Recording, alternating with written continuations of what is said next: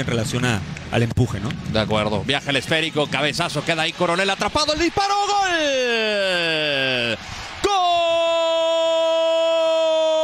¡Gol! ¡De Filadelfia!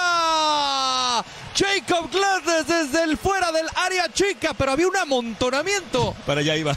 Bueno, es- eh, estaba como toda la población en el área chica para estorbar a Coronel y al 29. Estamos empatados.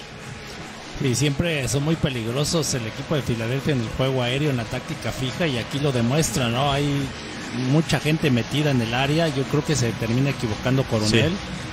Para mi punto de vista, eh, punto de vista, porque el pulpo lo va a defender, yo creo. No, no, no. Defiende al gremio, pero sí se equivoca. Él está más preocupado Y- por Glesnes que que, que por la pelota. Sí. Y es ahí donde yo siempre recomiendo. Ve al balón, Olvídate ¿no? de la persona que está delante tuyo. El objetivo de él es distraerte.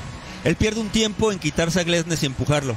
Sí. Para cuando va por la pelota, la pelota ya está muy abajo. Aparte, lo que siempre digo, Y él ya vencido. van con dos puños, Rodo. De verdad que en esa pelota, con un puño, tienes más alcance y la puedes enviar igual de lejos.